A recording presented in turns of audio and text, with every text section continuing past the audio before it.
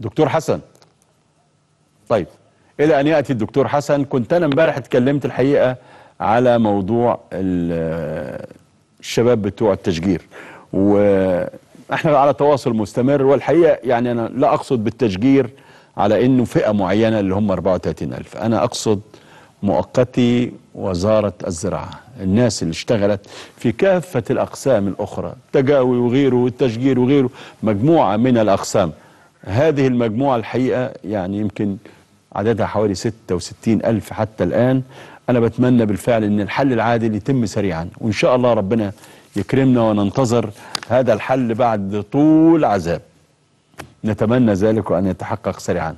آه، عاد إلينا مرة أخرى دكتور آه، حسن عبد العزيز. مساء الخير يا دكتور. أهلا وسهلا مساء الخير. أهلا وسهلا. أهلا بك يا فندم. الحمد لله. أهلا الله يخليك. تعليقك على آه، ما يحدث هذه الأيام في إطار علاقات الشعوب مع بعضها البعض وأنت يعني رجل تجمع ما بين أشقائنا في الكويت وما بين كونك مصريا.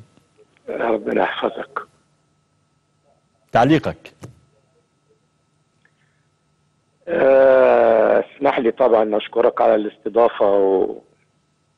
والمداخلة الطيبة ديت وربنا إن شاء الله يوفقني إن أنا أقدر أوضح بعض الأمور. اتفضل فندم.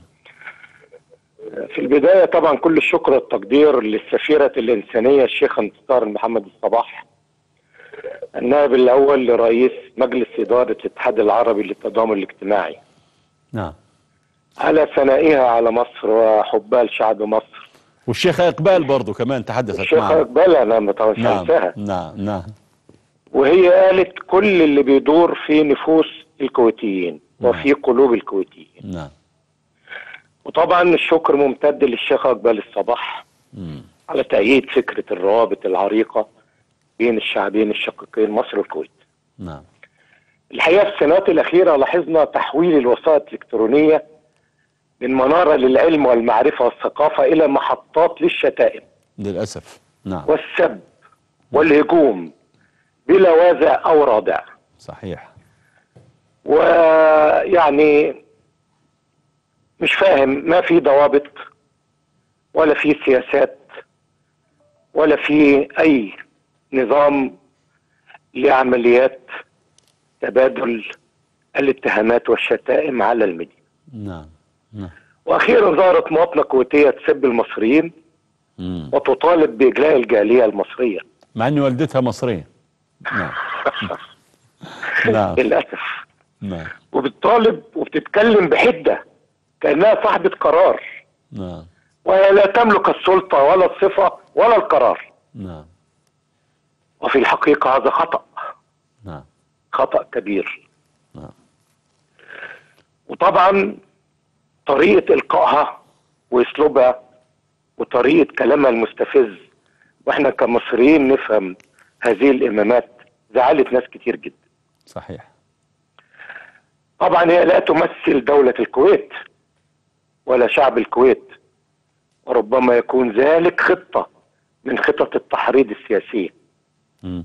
إيقاع الشعبين في بعض وإحراج الدولة سواء الكويتية أو المصرية. نعم نعم. وللأسف يا أخي العزيز الأستاذ مصطفى ابتلع المصريين الطعم وردوا على السب والشتائم بالمثل. نعم. وامتلأت الوسائط الإلكترونية بمسلسلات من السب والقذف. وهذا لا يجوز. نعم. لا يجوز للكويتيين ولا يجوز للمصريين. نعم نعم. وكل الأمر مرفوض شكلا وموضوعا. نعم. الكويتية هي اللي بدأت بلا شك وكان يجب علينا أخذ الحيطة والحذر واتخاذ ما يلزم من إجراءات قانونية بدلا من الرد والشتائم والعدالة والقانون في دولة الكويت نعم. لا يفرق بين الوزير والغفير. ولا يرحم من يخطئ. نعم. مهما كان منصبه شكرا. ومهما كان موقعه. شكرا لك دكتور حسن عبد العزيز. وفعلا زي ما انت بتقول إحنا شعب واحد. الشعب العربي شعب واحد. وعلينا دايما إن إحنا نحل مشاكلنا. آه في ناس إحنا عارفين مترصدة. عارفين في ناس